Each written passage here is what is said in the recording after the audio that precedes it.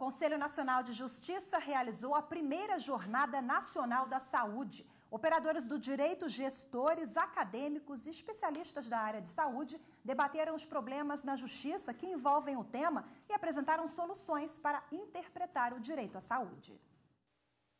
O encontro foi realizado no Tribunal de Justiça de São Paulo e faz parte das tarefas do Fórum Nacional da Saúde do CNJ criado em 2010 para dar mais agilidade aos inúmeros processos que chegam à Justiça contra a assistência à saúde brasileira, o Fórum uniformiza esses entendimentos.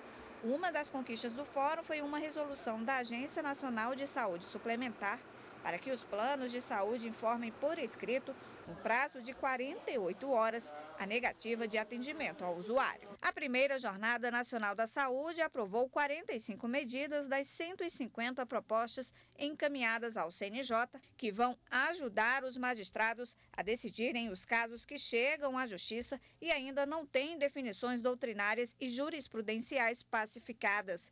19 delas tratam de saúde pública 17 sobre saúde suplementar e 9 relacionadas ao biodireito. Um dos quesitos trata da cirurgia para troca de sexo. Para a Justiça, ela não é necessária para mudar o nome no registro civil e até alterar o sexo jurídico. O relatório trata ainda de reajuste dos planos de saúde, fornecimento de medicamentos e tratamentos pelo SUS, das consequências jurídicas de métodos artificiais de reprodução assistida, entre outros. Todas essas informações podem ser vistas no site do CNJ. Essas iniciativas do Conselho Nacional de Justiça acontecem para dar cumprimento ao que determina a Constituição Federal, de que todo brasileiro tem direito ao acesso universal e igualitário à saúde. E para comentar os resultados dessa jornada, eu recebo aqui no estúdio a conselheira do CNJ e supervisora do Fórum Nacional do Judiciário para a Saúde, Débora Ciossi. Obrigada pela participação aqui conosco, em primeiro lugar, conselheira. Muito obrigada por divulgar o trabalho do Conselho Nacional de Justiça, especialmente o nosso trabalho no Fórum Nacional da Saúde. Belíssimo trabalho esse, né? Que aprovou na última jornada 45 enunciados. Fala um pouquinho para a gente sobre esses resultados práticos da primeira jornada, conselheira. A gente já chamou de primeira jornada para ter a perspectiva de fazer uma segunda jornada no próximo ano é importante que a gente convocou não só o sistema de justiça, operadores do direito, juízes federais, juízes estaduais, promotores estaduais federais, Ministério Público, né? advogados, procuradores, então todos os acadêmicos, o, os, todos aqueles integrantes do sistema de justiça. E nós convidamos também o sistema de saúde, gestores de planos de saúde, é, Conselho Federal de Medicina também foi convidado. Então a gente qual era a ideia desse, dessa jornada? Faz, abrir um canal de diálogo para que se construísse algumas soluções, porque nós estamos vendo a judicialização constante da saúde. É, por conta dessa evolução constitucional do direito à saúde. Então, assim, é um direito amplo, amplo, amplo em que termos? E o juiz, ele tem condição de tratar de medicina? É, então... São assuntos extremamente técnicos, né? Então eu imagino quanto tenha sido produtivo essa jornada para debater com, com pessoas que entendem sobre tecnicamente sobre saúde. Imagina, o juiz ele não tem. Eu acho importante a gente colocar que ela não é jurisprudência, os enunciados não, não refletem jurisprudência. É, foi uma construção em diálogo como um material de apoio. Então, assim, a nossa função educacional está aqui no, como função do Fórum Nacional da Saúde, encontrar soluções para diminuir a judicialização, para auxiliar os magistrados. Como? Então, o nosso fórum criou núcleos né, de atendimento técnico. Então, o juiz tem dúvida com relação a determinado medicamento, porque a gente verifica algumas é, ações judiciais para buscar um medicamento que já está na lista do Rename, isso é um problema de gestão, é muito simples, nem precisaria de judicialização.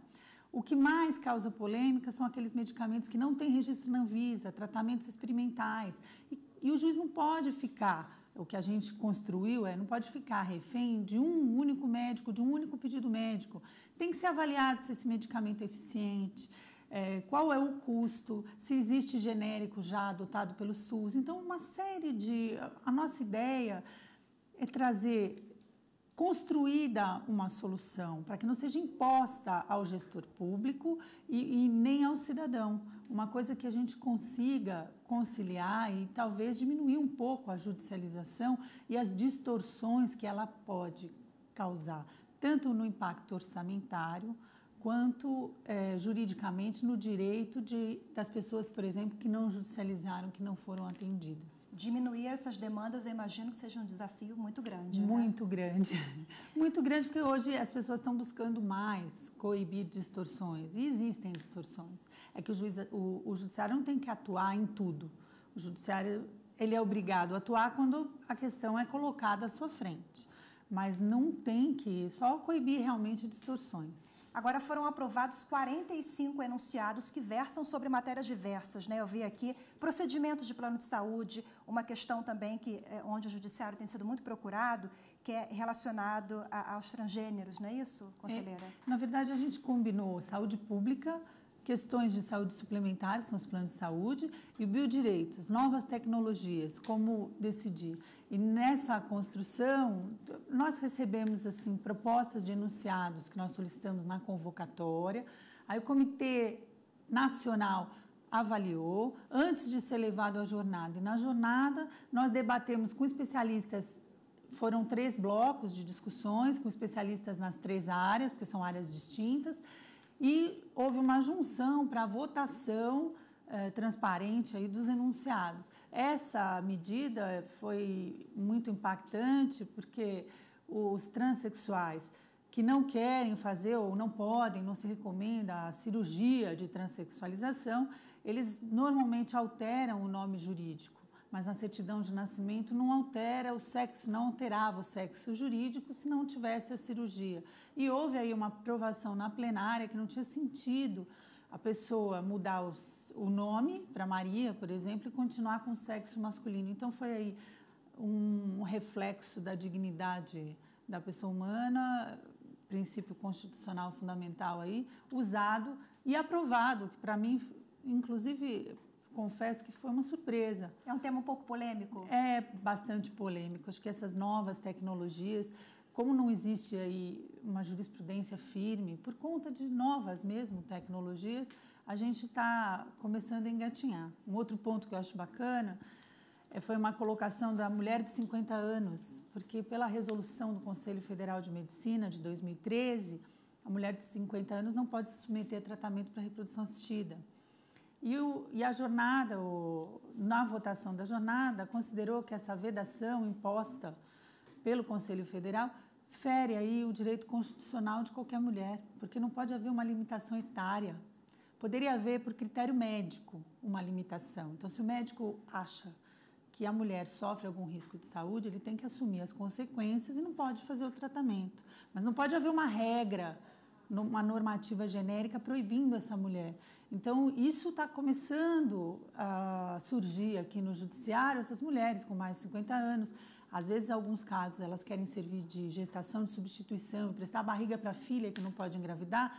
Ela completou 51 anos, não corre risco, está rígida e não pode fazer o tratamento se não há punição para o médico. Então, é assim, esses temas também foram trazidos, é, que nós estamos começando a desenhar isso como uma peça de informação faço questão de deixar claro que não é jurisprudência, não é de aplicação obrigatória. Foi uma construção de diálogo como uma ferramenta a mais. Que só vai ajudar os operadores de direitos A nossa intenção né? é essa. Só que e, e, usa quem quiser esse auxílio. Né? Agora, rapidamente, temos já uma programação para uma segunda jornada? Eu estou tentando. É, até o final do ano a gente vai se reunir, nós estamos planejando é, com o Comitê Nacional, fazer uma semana de conciliação em matéria de saúde, uma conciliação específica. Não sei se a gente consegue realizar no final do ano, junto com a Semana Nacional da Conciliação. E para o ano que vem, renovar a jornada, fazer uma segunda jornada, até para a gente aperfeiçoar aí alguns... Que foi colocado em prática agora, é, né? exatamente. Belo trabalho, trabalho esse permanente, porque o fórum é permanente, né, O fórum é permanente, existe desde 2010. Na verdade, essas a, ações do Conselho foram motivadas após a primeira eh, audiência pública. Ok, então, muito obrigada pela participação da senhora aqui mais uma vez. Belo Eu é trabalho. agradeço Parabéns. a oportunidade de divulgar. Muito Até obrigada. a próxima, Nada.